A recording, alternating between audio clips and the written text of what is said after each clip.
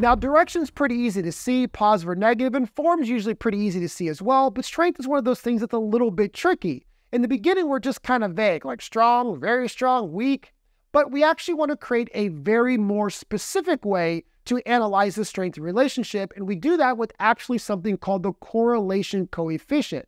This is a numerical value that actually tells you how strong a relationship is.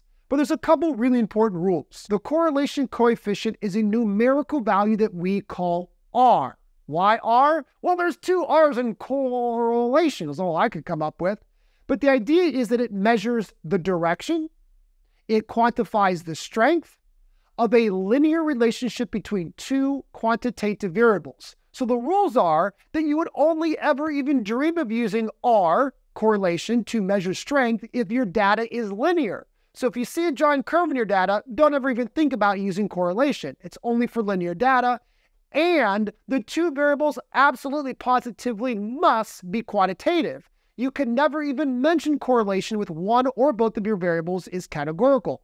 It's actually a very common mistake that you might see all over the place. You'll see people that totally misuse the word correlation they'll say, oh, there's a correlation between somebody's height and their eye color. That's an impossibility because eye color is a categorical variable. Now, there's a couple key aspects. First, I mentioned that it gives the direction. That's because correlation can be either positive or negative. So if it's positive, the direction is positive. If the negative, then the direction is negative. That's pretty straightforward. Now, how does it quantify strength? Well, that's because correlation is on a scale from negative 1 to 1 including negative 1 and 1. Anything uh, closer to 1 or closer to negative 1 is actually stronger.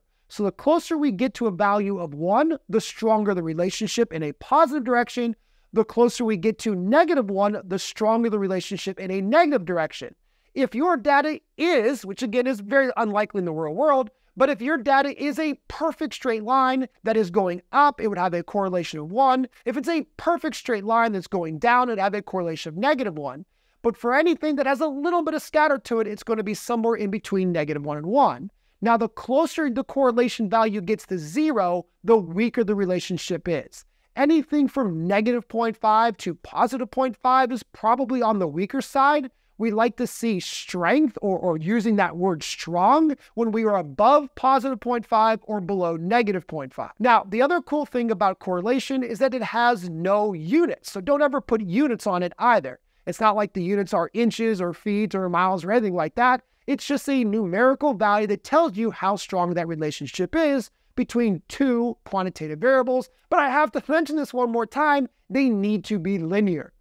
Now, there is a pretty complicated formula to finding correlation, which I'm not even going to waste your time showing because you're never going to use it. The correlation will either be given to you or you could easily calculate it on a calculator. Let's take a look at some examples of scatter plots and the correlation that measures the strength of them. Now, here we see a scatter plot looking at the weight of a sample of people and the number of steps they take per day. So maybe we took a large sample of people, we asked them what their weight was, then we had them use some type of tracker to see how many steps they take per day.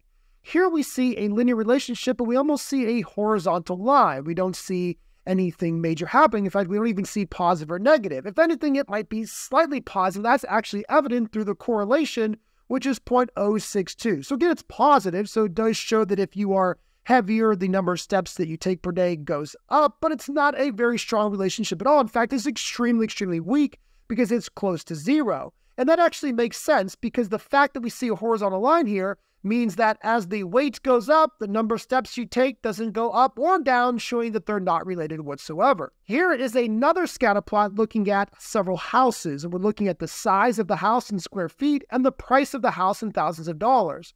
Now, here we see a very positive linear pattern, and corresponding such, it has a very strong correlation.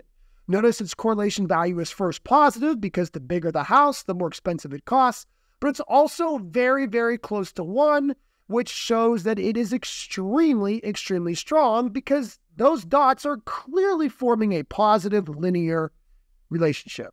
Now, here we see another scatter plot looking at the IQ of a sample of people and how long it takes them to complete an online dissection of a frog. So basically, here we had a bunch of high school students. We measured their IQ and how long it took them to complete this online dissection. Now, we definitely see a negative relationship. We definitely see that the smarter the kids are, the faster or the lower the time it took them. But it's not perfect. It's not extremely strong. We definitely see quite a bit of scatter. And that is why we see a correlation value of negative 0.621. Negative because it's clearly going down. That's the direction. But 0.62 is, it's on the stronger ish side, but it's approaching weak. And again, we see that because of their, you know, the fact that there is a lot of scatter in this scatter plot. But we definitely see that negative association here. Finally, here we're looking at a sample of trees where we're looking at the diameter of each tree measured in inches and the height of each tree measured in feet. Now, here we might want to take note that we see kind of two clusters. We see this cluster down here of some smaller trees, and then we see this larger cluster data up here. But if we're looking at the overall pattern of all the data, it does appear to be positive. The larger the diameter of the tree, the more likely it's going to be a taller tree. That kind of makes sense. And we see the correlation here is 0.773, which again is positive and pretty strong. It's not, you know, close to one like a 0.9, which would be very strong, but it's definitely somewhat strong. Now, the other thing I want to make sure I notice or tell you guys about in all of the scatter plots we looked at is none of them were perfect straight lines. A perfect straight line is very rare to see.